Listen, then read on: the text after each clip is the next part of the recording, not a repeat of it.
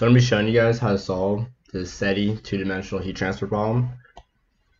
They give us the dimensions of the plate, and they tell us the boundary temperatures, and they tell us that delta x is equal to delta y. Uh, this is convenient, so it's going to make these equations simplify down to that one. So the first thing we can write is our height is 3, our width is 3, call this our width and height. Now we're going to have four nodes. So we'll say that n is equal to 4. So coming over to MATLAB, you start typing some stuff in. We'll say n is equal to 4, w is equal to 3, h is equal to 3, and then we're going to need to make a, an x and y vector. So x is going to be equal to linspace and we want this vector to start at 0, go up to w, and get chopped up n number of times. And then we're going to need y to go to linspace, making the same exact thing.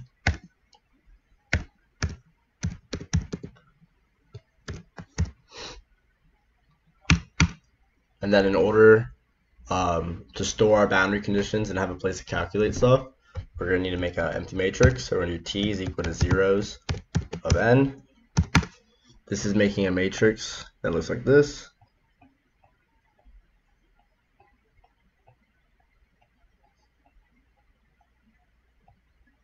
Just all zeros.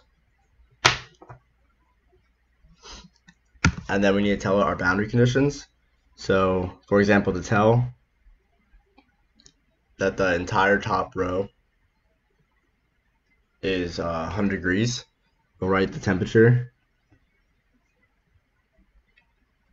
For row 1 and column 1 to n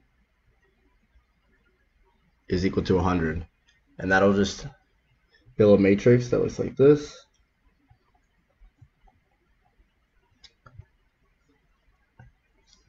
So in MATLAB I'm just going to go ahead and paste those in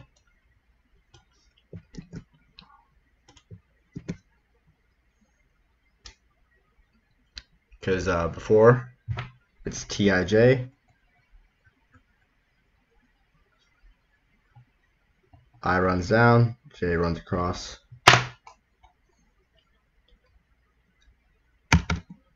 And then we're going to be using while and for loops. So we need to tell it a tolerance. We'll do 1 e to the negative 6 we'll give it an error number set that equal to 1. And we might want to count the number of iterations that we're doing. So we'll do k is equal to 0 because it'll start our counter at 0. And then so now we need to do the while loop. So we're going to say while the error is greater than the tolerance.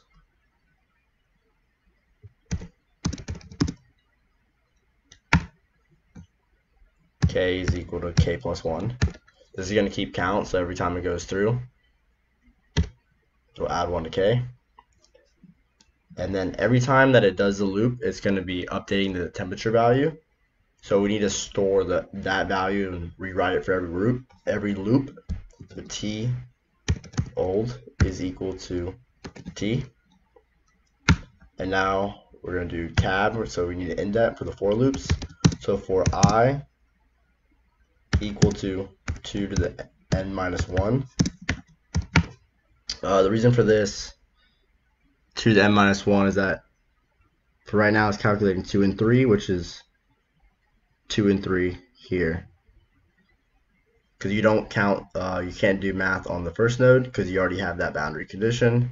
And you can't do it on the last node because you already have that boundary condition. And we'll do for j is equal to 2 to the n minus 1 so we're going to do the same thing in the x and y. We're going to go ahead and give it that temperature equation. I'm just going to paste it in. And then we need to put end. This is going to close the first for loop. End. This will close the second for loop. And then we're going to do error is equal to max parentheses max parentheses abs absolute value of t old minus t. Uh, we're going to want this thing to run until the newly calculated value of t and the previously calculated value of t are equal or approximately equal. Then we'll click end. So we'll click run and here's the temperature values. So for node 1, be 287 and so on. And then you can do some more stuff with this. You can um,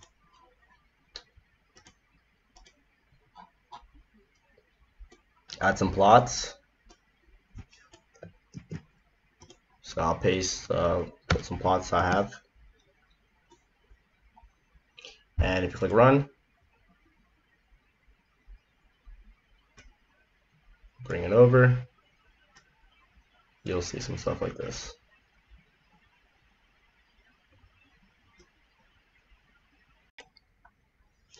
Since the example only called for four nodes to be calculated, uh, the accuracy of our temperature distribution is pretty low. If you look at this plot, you'll see that the lines are pretty much straight and it has some kinks in it. Um, so all we have to do to make it more accurate is just increase the number of nodes. So we'll just increase it to 40.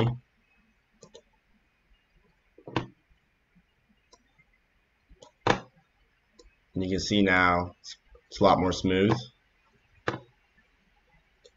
And additionally, if you go to T, all the temperature values are here for each node.